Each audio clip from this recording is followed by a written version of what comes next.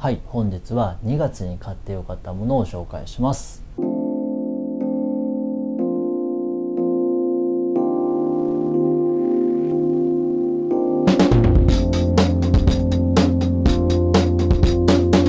はい小林です。皆様いかがお過ごしでしょうか。本日はですね今月2月に買ってよかったものを紹介させていただきます。ちょっと先月からですね1月まあ去年とかもちょくちょくはやっていたんですけれどもちょっとこれはシリーズ化してあのやっていきたいなと思っております。1月はですね結構個人的にはかなり買い物をしてしまいまして、まあ、大きい買い物もありましたし、まあ、内容もなかなかビッグな感じになっているので是非ともまだ見ていない方はご覧ください。ちょっと2月に関しましては1月に比べるとちょっと金額は下がるんですけれども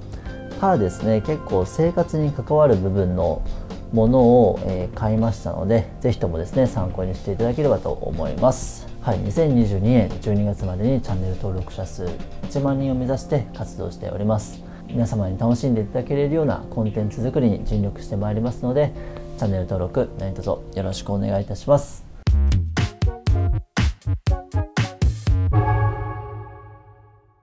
はいということで早速いきましょう。1つ目がですねこれいきましょうか。1つ目がユニバーサルプロダクツの靴下でございます。このユニバーサルプロダクツの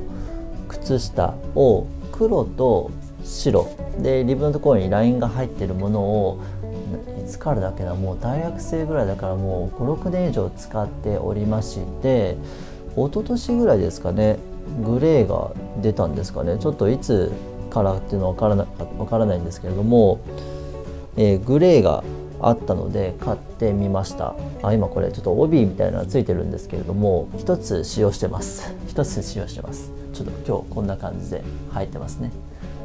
あのなんで2つ使ってないかっていうとこの動画を撮るためです。あのなんか使用した靴下を見せるのもどうなのかなと思ったので撮影する前の間はちょっと一応撮っておきました。なのでこの動画が終わり次第ちょっとこの2つも解禁していきたいと思います。まあ今回買わせていただきまして気に入っている部分変わらず安定した靴下でございます。まあ、僕がこの靴下で気に入っている点の最大のポイントがこのリブですね。こちらでございます。僕個人的にですね靴下を履いてしまうとリブの部分が痒くなってしまうんですよ。ただこちらのユニバーサルプロダクツの靴下に関しましては痒くなりにくいんですよね。なりにくいというかもうならないですね。リブがちょっとこう柔らかいんですよ。本当にひっつくっていうよりかはこう添えるみたいなぐらいなリブの強さですごくちょうど良い具合でございます。あとは付け加えるのであればこのパイルの高さですね。冬はそこまでなんですけれども夏に足の汗をかく機会が増えると思うんですがこのパイルの足の高さによって足から出る汗を吸収し常にこう足にこう胸みたいのがない状態に保ってくれます。靴下としてはやっぱり厚みが出てしまうので何ですかね足のサイズぴったりに買った靴にはたまにこう履けないこともあるんですけれどももう大変気に入っている靴下でございます。でこのグレーがですね結構個人的に良くてですね、まあ、僕が持っていた黒と白もまあ色としては使いやすいんですけれどもこのグレーの色は大変あの重宝しました。ちょっと色の感じを見ていただくとこんな感じですね。ちょっと分かりにくいんですけれども糸がグレーとグレーが90%ぐらい入ってるのかな。ちょくちょく白い糸も見えるんですよ。なんかこう木柄のような雰囲気になっております。なのでこう真グレーではないですね。ちょこちょここう白が垣間見えるようななんかチャンピオンのスウェットみたいな雰囲気のグレーとなっております。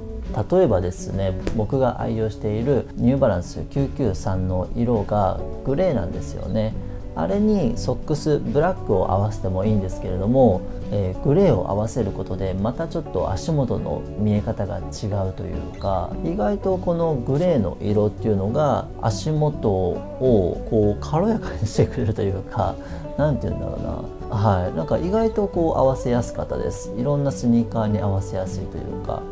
まあ、やっぱりこう、まあ、僕も今日グレー着てますけどグレーのこの中間色のような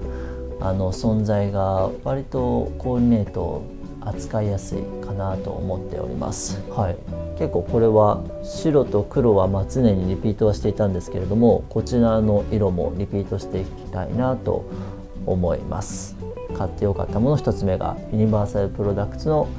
靴下グレーですねでございます2つ目がこちらの傘でございます。こちらはバグスロー別注のアンベルの傘でございます。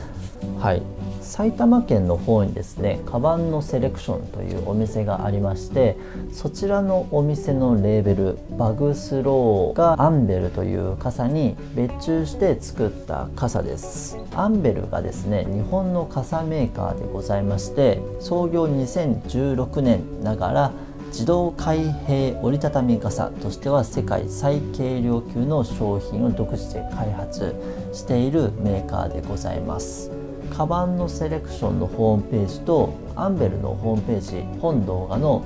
概要欄に載せておきますので詳しく知りたい方は是非ご覧ください。はい。で、えー、バグスロー別注のアンベルの傘でございます。はい。でですね傘は僕持っていたんですけれどもちょっと壊れてしまって、えー、買い替えたという次第でございます。で買い替えにあたって3つですねもう傘にもうこの機能は必要というものがございまして1つ目が自動開閉機能がついているものです。以前に使っていたクニルプスの傘クニルプスの傘がボタンを押して開けてボタンをもう一回押すと閉じる自動開閉式の傘だったんですよ。それがまあとにかく使いやすくてまあそれが1点。2つ目が大きさ。結構そのクニルプスの自動開閉傘が結構折りたたんだ時めちゃくちゃ大きかったんですよ。ちょっとそれでカバンにこう入らないとかっていうこともあったのでサイズはちっちゃくしたいな。2, 2点目ですね。3点目が軽さですね。ちょっとまた以前の話になるんですけど以前の傘は結構重かったんですよ。ペットボトル 500ml を持ち歩いてるんじゃないかぐらいの重さでそれもまあプチストレスになっていました。まあこの3点えーと、自動開閉式のもの軽いもの小さいものこの3つがちょっとこう合わさったものないかなというところで探していまして、まあ、ちょっとこれをこれに出会った次第でございます。自動開閉機能についてなんですけれどももう皆さんご存知の方もいらっしゃるかと思うんですけれどもここにですねボタンがついていますのでこれを押すとこんな感じで開く機能ですね。もう一回ボタンを押すとはい閉じるんですね。ここの棒の中にバネが入っているんですけれどもそのバネをこう縮める感じでグググッとカチッというまで縮めてあとはまあいつも通り畳むっていう感じですね。で続いて大きさでございます。大きさはですねこちら。高さが26センチでございますね。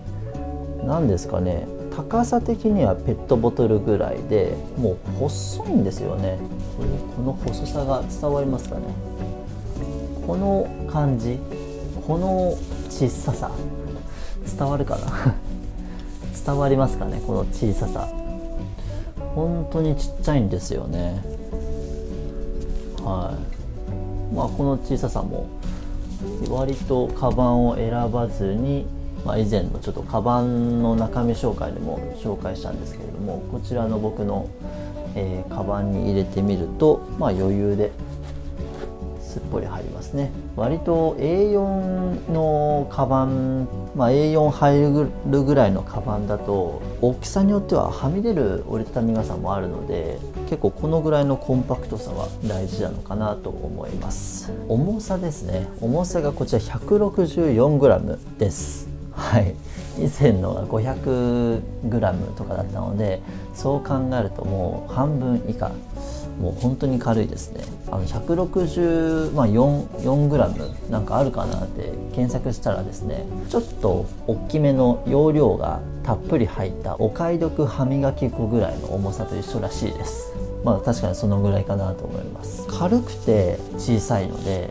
なんか強度はどうなんだろうっていうことなんですけれどもフレーム部分にはですね航空機にも利用されているカーボンファイバーという軽くて丈夫な素材が使われているようです。まだ突風の日とかに使っていないのでちょっとどこまで耐久性があるのかあるのかわからないんですけれども期待はできるのかなと思います。